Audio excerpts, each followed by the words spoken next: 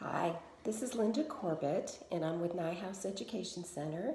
And today we're going to be looking at the second type of syllable. There are six syllable types, and we're going to be reviewing the second one. So I'm going to show you some words, and I want you to notice what is happening in these words. What do you notice? Yes, you see one vowel followed by at least one consonant. Let's read these words. Men, hip, not, and and.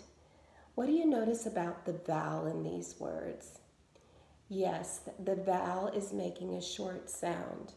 Well, when you have one vowel followed by at least one consonant, the vowel will be short and we'll read it as a short vowel sound. We can code a short vowel with a breve.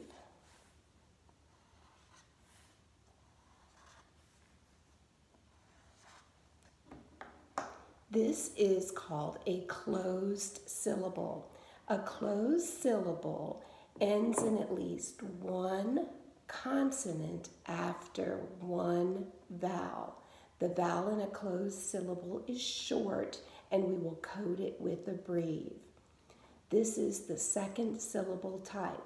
So when you're looking at a word or a syllable and you notice there's one vowel and that one vowel is followed by at least one consonant, that's the clue to you as a reader to read that vowel short because it's sitting in a closed syllable.